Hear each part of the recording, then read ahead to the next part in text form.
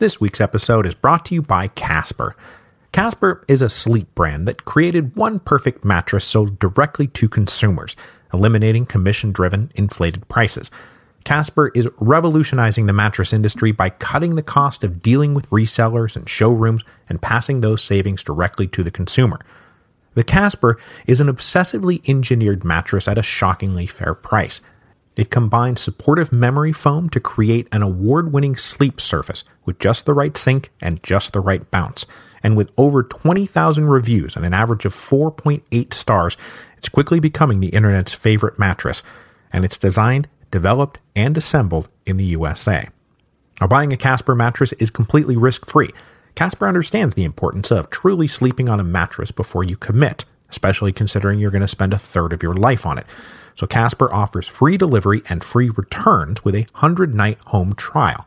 If you don't love it, they'll pick it up and refund you everything. And that again is free shipping and returns to the United States and Canada. So our son has been sleeping on his Casper mattress for, let's see, about two years now, and he continues to love it. And if you can believe it, because I know I sure can't, our daughter is about to be old enough to figure out that she can crawl out of her crib, which means it's time to get her a Casper mattress of her own. And I'm not making this up. Her brother's bed is her favorite place in the whole house, and so we're hoping that when she gets a mattress of her own, she will love it just as much. I'm sure that she will. So, the deal for you is you get $50 towards any mattress purchase by visiting casper.com slash revolutions and using the promo code revolutions. That again, casper.com, C-A-S-P-E-R dot com slash revolutions. Terms and conditions apply.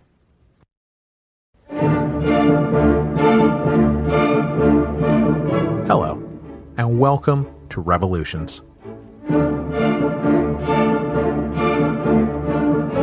Episode 6.8D The Carbonari. So, last time we did some big picture anti revolutionary surveying through the eyes of Austrian Foreign Minister Metternich? Metternich? Metternich? However, you want me to say it, I'm not doing it right, and I apologize for all of you who yelled at me about it. I've got a bunch more German coming up in 1848, so I'll get working on it. Anyway, Today, what we're going to do is focus on one of the secret revolutionary societies that would have been concerned to Metternich, and why he and his secret police were reading the mail and jailing dissidents and clamping down on freedom of the press.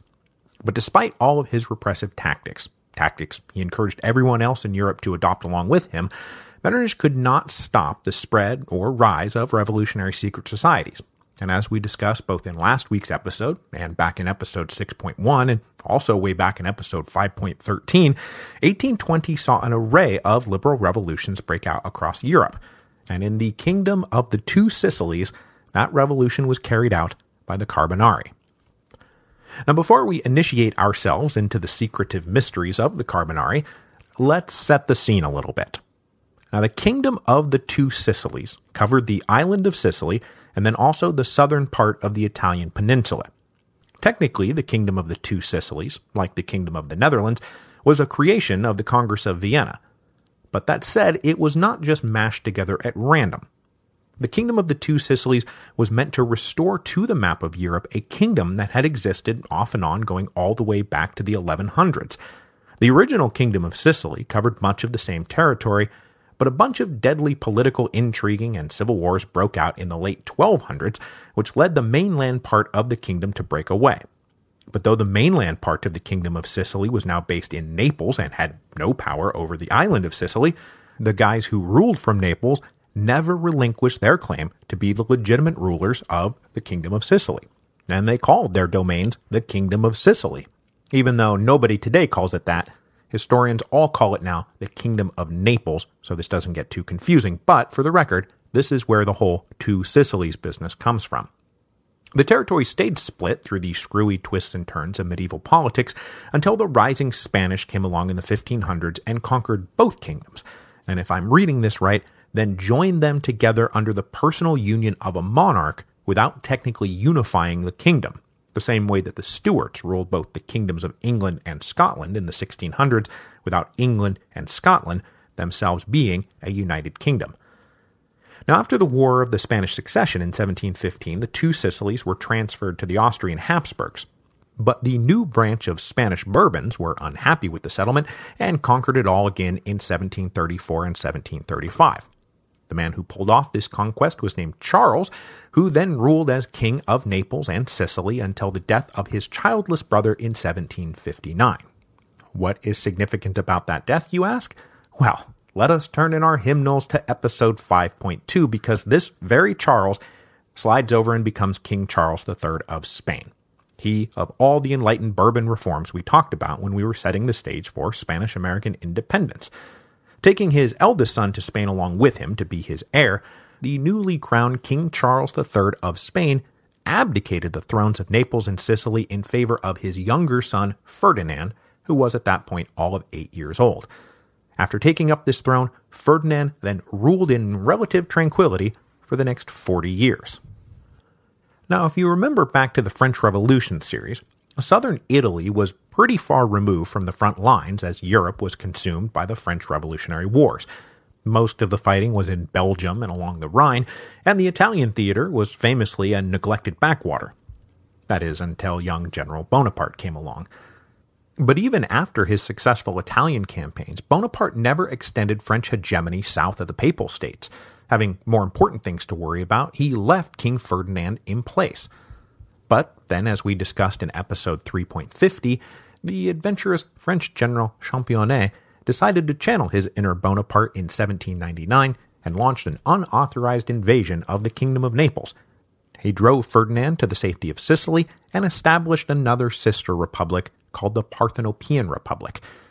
Now, this briefly forced King Ferdinand to give up his mainland claims, but six months later, under pressure from the British and Austrians, and unsupported by the French Directory, who had never wanted Championnet to do this in the first place, the Parthenopean Republic collapsed and Ferdinand reclaimed all his domains.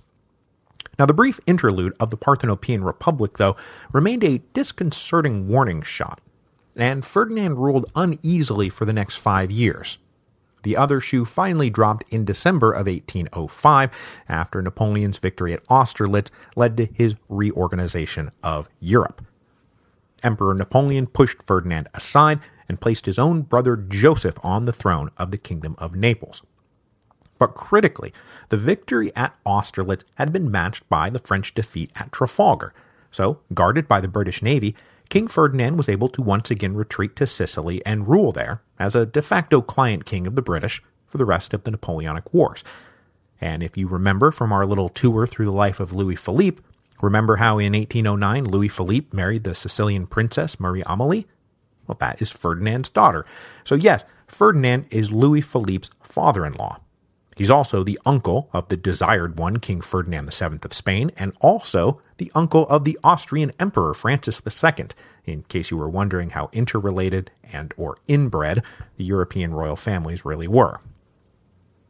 The arrival in Naples of King Joseph Bonaparte in 1806 finally gets us to the actual topic of today's episode because the people of southern Italy did not take kindly to the expulsion of their king nor the arrival of French imperial rule. Now, nothing like the Peninsular War ever broke out, but for the duration of French rule, there was resistance that the French were never able to stamp out. Resistance that was organized and directed by the actual topic of today's show, and about whom we will now turn to the Carbonari. Now, as we'll see in a second, the origins of the Carbonari are wrapped in mystery and myth and secrecy. But like the Freemasons, the Carbonari likely originated as a trade guild and mutual aid society. Carbonari means literally charcoal burner, and charcoal burning was, like masonry, just a job that you could have. These are the guys who did the necessary and strenuous work of turning wood into coal so that it can be used as a source of fuel. It's an occupation that dates back to the mists of prehistory, but by the time of the Middle Ages, it was a profession that existed at the margins of society.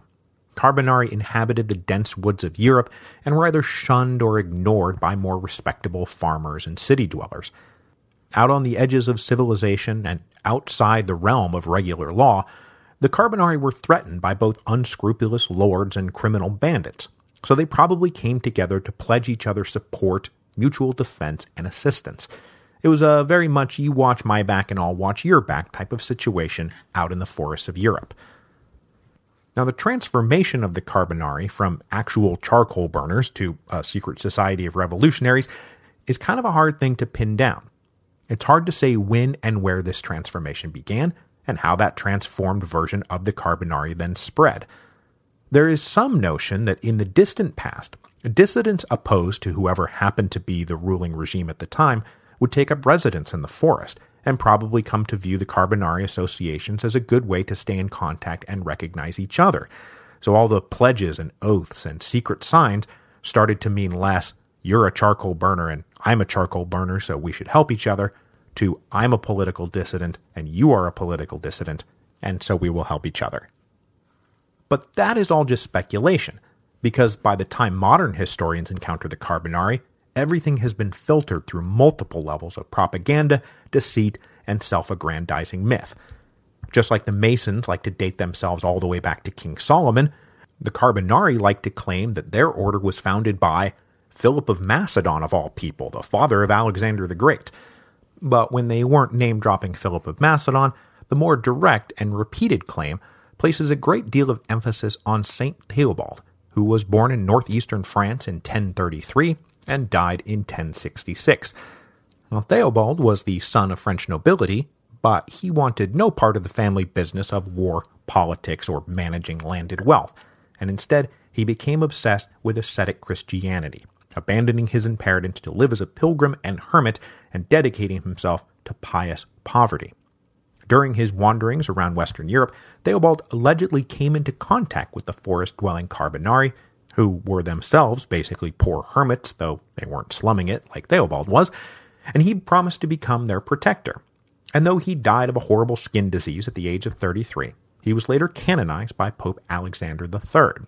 And by the time the version of the Carbonari that interests us comes into existence, St. Theobald was their patron saint, and a portrait of him hung in every meeting house. The other benevolent protector that the Carbonari like to tell each other about was King Francis I of France, the great Renaissance king who reigned from 1515 to 1547. The story was that King Francis had been out on a hunt one day, encountered the Carbonari, took a liking to them for some reason, and became enrolled as one of their members, and then put them under his benevolent protection. In particular, the Carbonari liked to say that Francis exempted them from all taxation. This was something they liked to especially repeat to people who were thinking about becoming members. Now, all of that is for sure made up. I mean, we don't even know if a real Carbonari society existed before they start showing up as another player in the milieu of secret societies that emerged in the early 1700s. If the Carbonari did exist, then it was around this point that they joined the interconnected throng of secret mystical societies and took on heavy doses of the symbolism that pervaded those secret societies.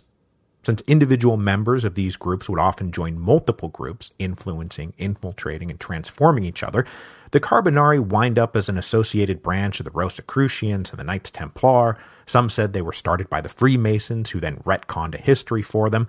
Others explicitly said that they were a branch of the Bavarian Illuminati, but it's impossible to tell what from which, since every secret society one might care to research will eventually be linked by someone to the Rosicrucians, the Knights Templar, the Freemasons, and the Bavarian Illuminati. It all goes back to Atlantis, you know, just heads up. But there is no doubt that our Carbonari were heavily influenced by the brand of Freemasonry that emerged in the early 1700s as the Enlightenment got going. But how and why just opens a flood of questions we don't have answers to. But if you ask me, and I knew you would, the veneration of Theobald, a French saint, and Francis I, a French king, makes it likely that the Carbonari originated in France, though I have also seen it traced back to both Britain and Spain. Certainly the most plausible of all the competing stories that I've read, though, says that the Carbonari secret societies originated in the mountains of eastern France along the Alpine border with Switzerland. Swiss mercenaries who originated from the same area probably adopted the Carbonari language and organizational structures and brought them with them to southern Italy, where it expanded and took local root. After the French began to expand in the late 1790s, the Carbonari lodges understandably became a focal point for anti French dissidents. And in this way, the Italian Carbonari remind me of the South American Freemasons, who likewise needed a secret way to recruit and communicate with each other, and found the secret Carbonari networks a good way to do it. So it's as much that political dissidents joined the Carbonari and made the group revolutionary, as it was the Carbonari being a group of revolutionaries turning its members into dissidents. But in short order, the feedback loop makes the distinction pointless. So, because the organizational structure is really the important thing here, let's talk a little bit about the nuts and bolts of it all. So, first of all, yes, this was a secret society, and secrecy was amongst its most important aspects. It was drilled into new members from the minute they entered, and then reinstilled as they rose up through the ranks. This is definitely the first rule of the Carbonari is you do not talk about the Carbonari. The second rule of the Carbonari is you do not talk about the Carbonari. But that said, they did like recruiting new members, so eventually you have to talk about the Carbonari, and a candidate for enrollment would be identified by an existing member and invited to join. The minimum age for initiation was 33 and a third, which was reckoned to be the age of death of Jesus. But other than that, nothing but upright morals and trustworthiness were necessary preconditions for enrollment. Princes and peasants alike both joined and would become equal Carbonari, and among themselves they called each other not brothers, but good cousins. So a new initiate would be brought blindfolded to the Carbonari meeting house, which, in keeping with the theme of we're a bunch of charcoal burners, these meeting houses were often converted barns or huts out in the woods. The secure and safe interior space of the meeting house was called the Vendita, and it would be decorated with the Spartan aesthetics of St. Theobald bare white walls, simple benches for sitting. Even the Grand Master of a particular lodge sat on a simple carved block of wood. Still blindfolded, the new initiate would face his future Carbonari good cousins and be asked his name, religion, age, and place of residence. Then he would repeat some rehearsed formula about how he had been in the woods kindling a fire and wanted to bring faith, hope, and charity to all good cousins. He would then be told by the Grand Master that he must be sincere and docile and ready to face any challenge. Then the initiate would be sent out briefly into the woods on a symbolic journey where symbolic obstacles would be placed in his path. When he returned to the meeting house, he would be told that the journey represented the weakness of mortals, a weakness that could only be overcome by good works guided by reason. Then he would be sent on a second symbolic journey, this time through fire, which he was told was the flame of charity that he must keep kindled in his heart. Upon return, he swore a solemn oath never to betray the secrets of the Carbonari, and then finally his blindfold was removed. He would then be shown a hatchet that would kill him if he betrayed the Carbonari, or protect him if he was faithful.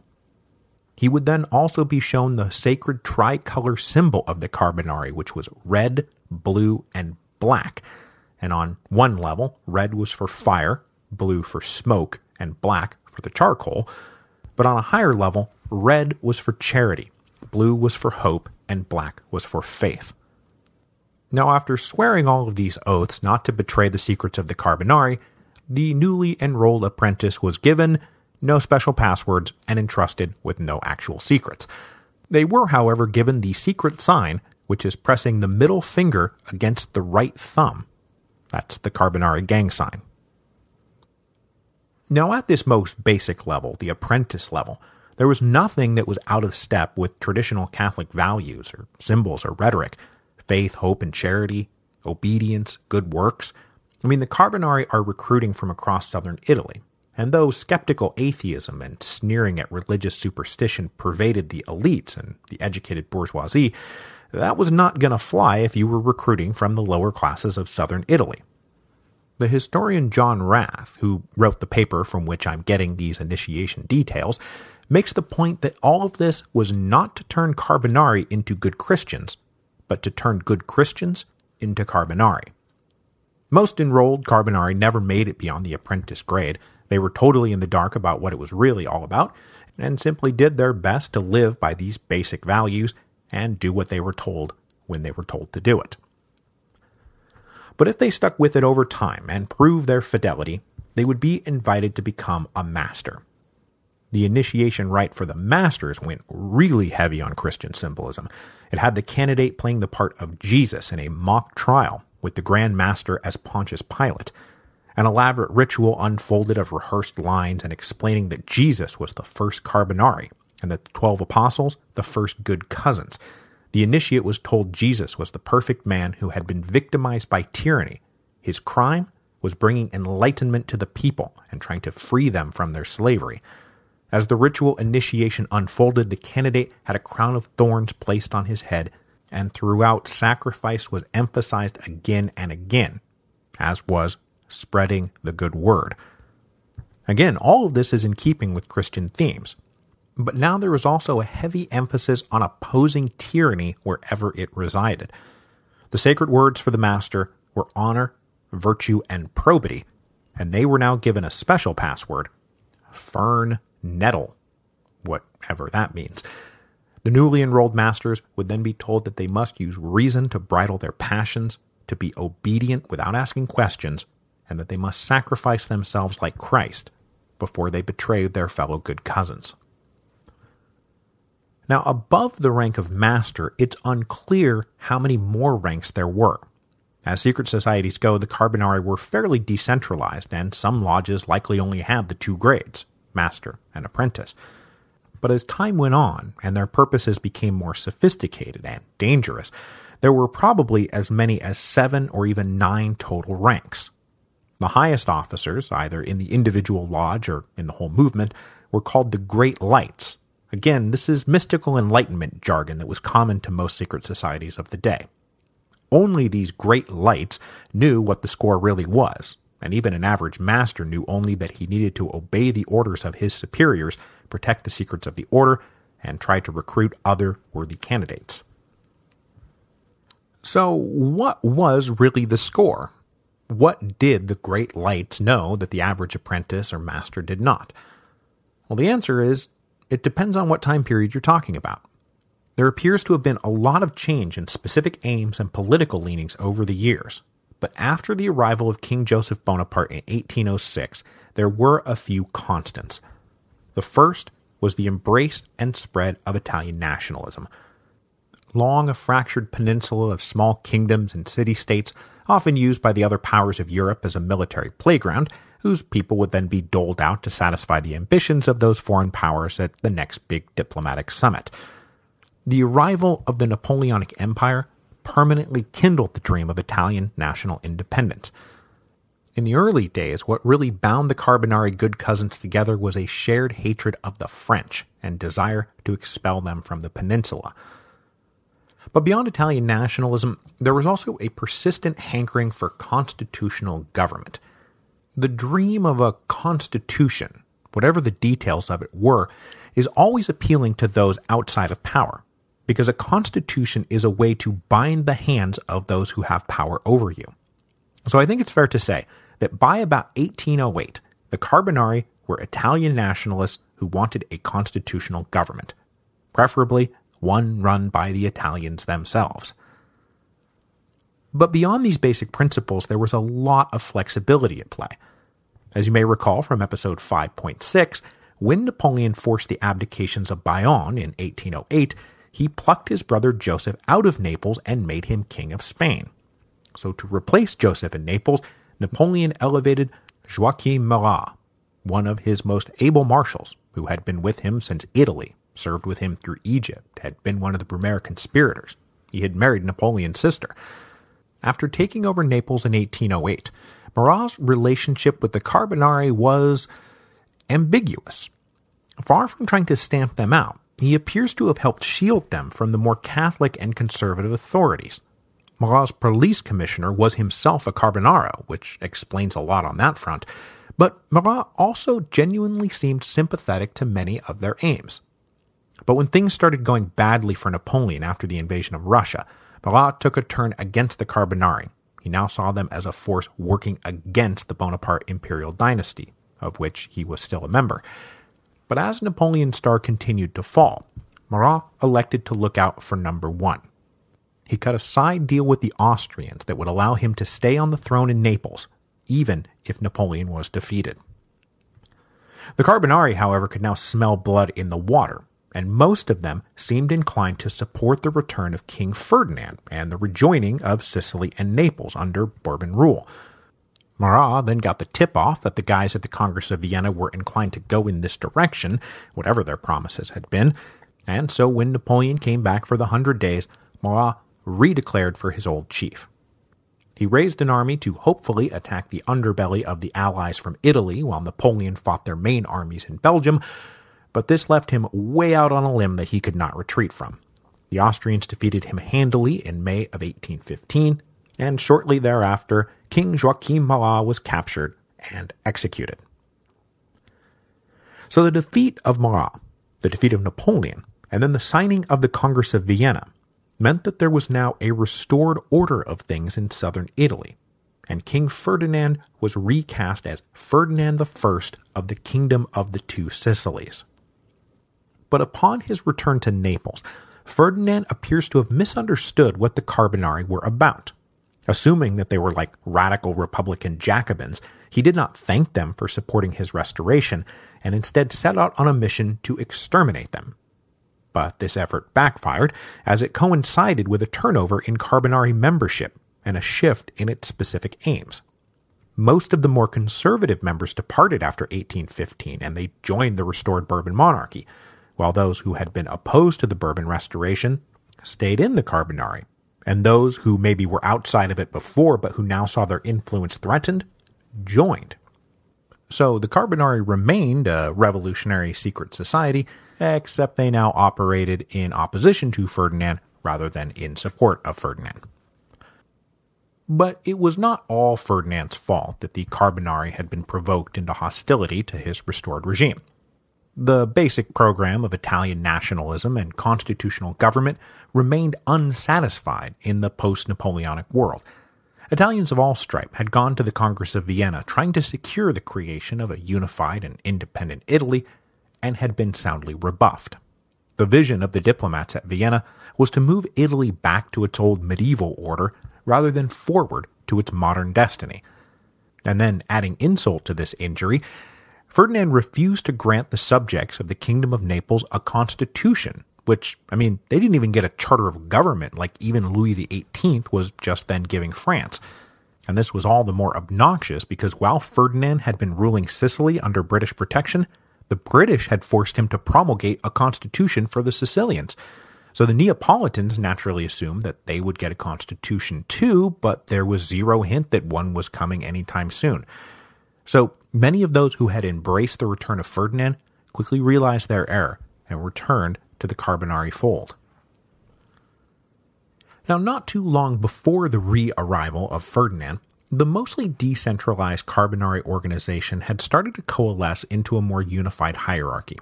A supreme lodge based in Naples called the Alta Vendita claimed for itself the power to pass new laws, adjudicate disputes, issue charters for new lodges, and punish transgressions by members. In many ways, they were establishing a state within a state, as individuals would submit themselves to the Carbonari laws far more readily than to regular municipal authorities. It was, in fact, a law that a standard legal dispute between two Carbonari would not take place in regular court, but rather they would appeal to their good cousins. But after the return of Ferdinand, the authority of the Alta Vendita in Naples was challenged from below by the allegedly subordinate lodges, who turned on the quote unquote authorities in Naples who not unjustifiably were seen as now straying from the more rigorous adherence to Carbonari principles, because the guys in Naples were getting into bed with Ferdinand. So a lodge in Salerno, down the coast from Naples, sent out a call to other Carbonari lodges asking them to send representatives to a new assembly that would then issue its own rules under the guise of this secretive Western Lucanian Republic, another state within a state, a state within the Carbonari state. These guys were even more militant about adhering to Carbonari principles and more militant about being militant. There was a requirement to stay under arms at all times and adhere more than ever to Carbonari government rather than Ferdinand's government. And with administrators, judges, lawyers, military officers, average workers, and even priests all enrolled as Carbonari, this was no small thing that was going on. But even still, as 1820 approached, there was little hint at revolution. Yeah, there was some liberal agitation across Europe, but King Ferdinand certainly had no inkling of a problem until word came over from Spain about the mutiny at Cadiz. There was a lot of contact back and forth between Spain and southern Italy, and news of the mutiny, and then the growing revolution that culminated with the formerly desired one, King Ferdinand VII, accepting the old liberal constitution of 1812. This got the Carbonari in Italy fired up, and they rallied around the simple belief that the time had finally come for King Ferdinand, their King Ferdinand, to promulgate a constitution, a belief that was now almost unstoppable because to maintain his own sideways claim to the throne, King Ferdinand I, King of the Two Sicilies, swore to uphold the Spanish Constitution to make sure that he didn't get booted out of the line of Spanish succession. So he had now sworn an oath that the Spanish would get to keep their liberal constitution if he ascended to the Spanish throne, but he couldn't deign to give one to his present Neapolitan subjects. It was infuriating. So word of the mutiny in Cadiz set off a flurry of Carbonari recruitment. They probably numbered somewhere between 50 and 100,000 in January of 1820. But with opportunity at hand and a population hungering for constitutional government, the Carbonari membership exploded. The largest and overstated number puts them at 600,000 by July of 1820, but it was probably more like 300,000, but still, that's at least a threefold increase and all of those new recruits remained apprentices, where it was driven into them that the thing to do was to follow orders, not ask questions, and, more importantly, not answer questions if the authorities came round. At the center of this new round of revolutionary plotting was a general named Guglielmo Pepe, both a high ranking Carbonaro and a high ranking military officer Pepe was in prime position to effect a uh, Carbonari mutiny slash coup slash revolution, but as sedition picked up in May and June of 1820, General Pepe hesitated a bit to jump into revolution with both feet and started counseling caution to his good cousins. A revolt that had been planned for the end of May was called off at the last minute, and it seemed like maybe nothing was actually going to come of this but then the senior Carbonari's hand was forced by a lodge embedded in the military garrison at Nola. The Grand Master of this lodge was a priest named Minicini, and he conspired with two officers, Giuseppe Silvati and Michele Morelli, to organize the beginning of an armed uprising. They called out the other Carbonari in their garrison, 127 cavalrymen plus 20 civilians, and they all marched out at midnight on July the 1st, 1820, on their way to Avellino, which was the military capital of the region.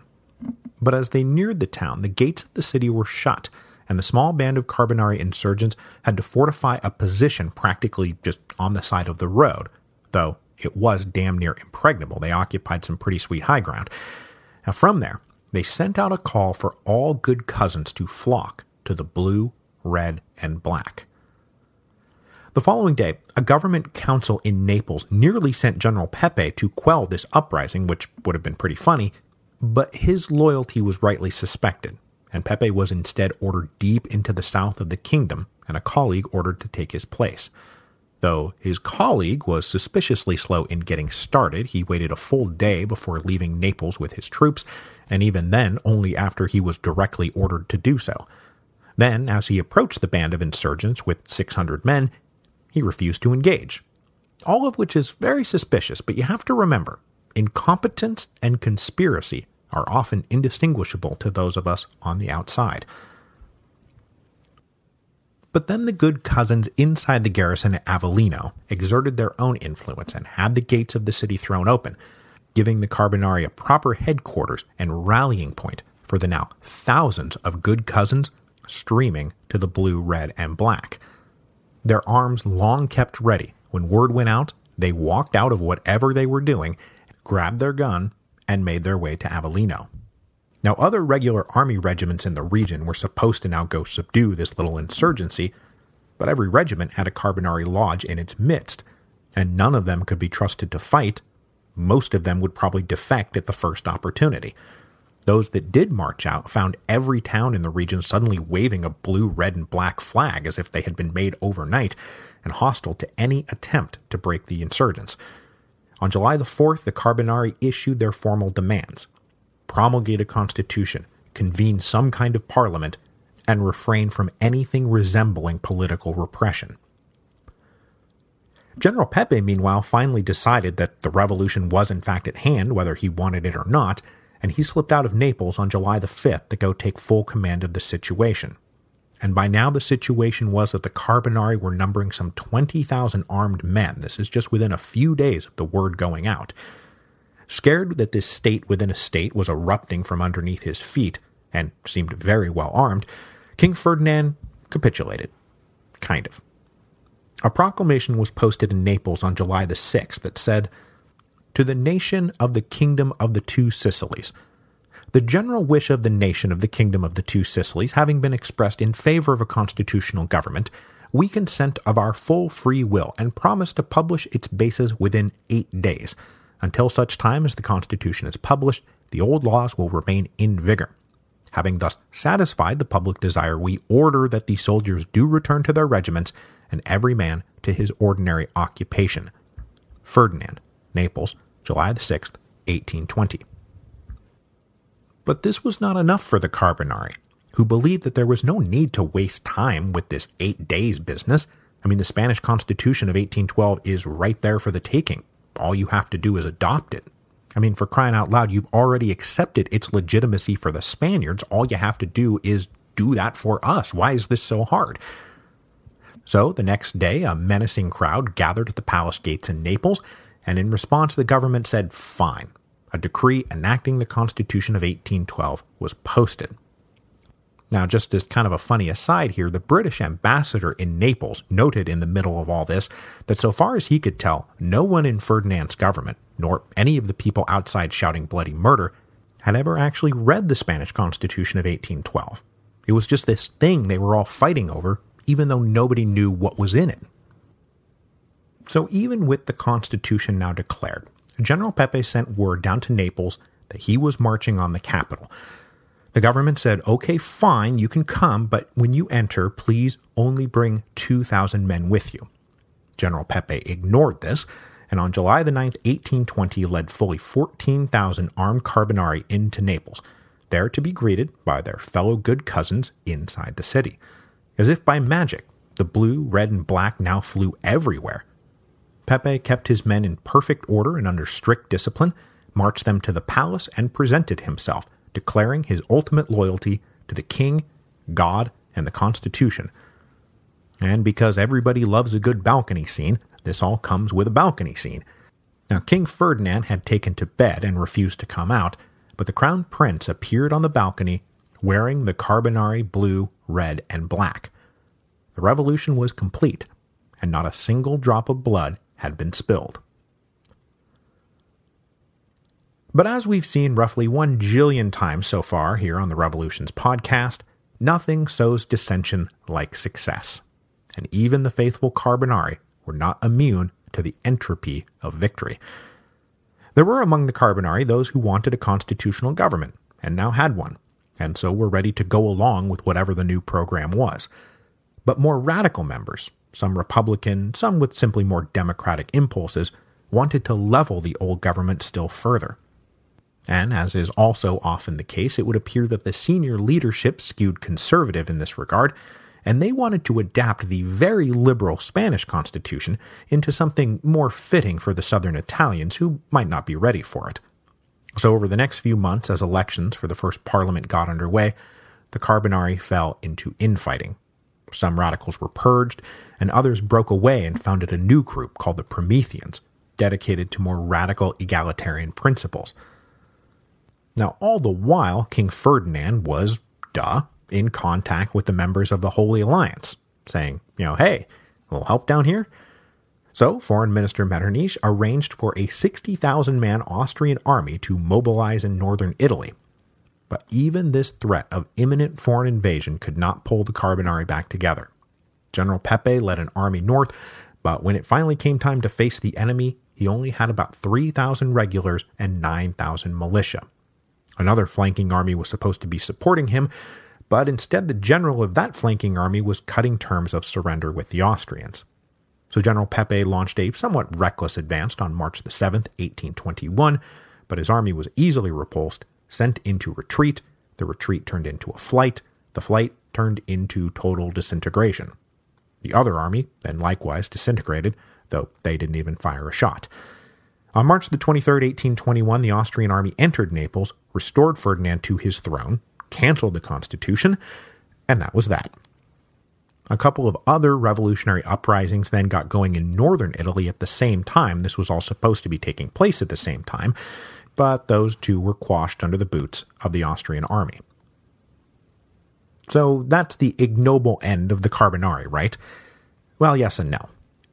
The revolutions of 1820 in Italy had failed, and the Carbonari networks were mostly shattered, but you can't keep a good secret society down, especially not when there are still secrets to be kept.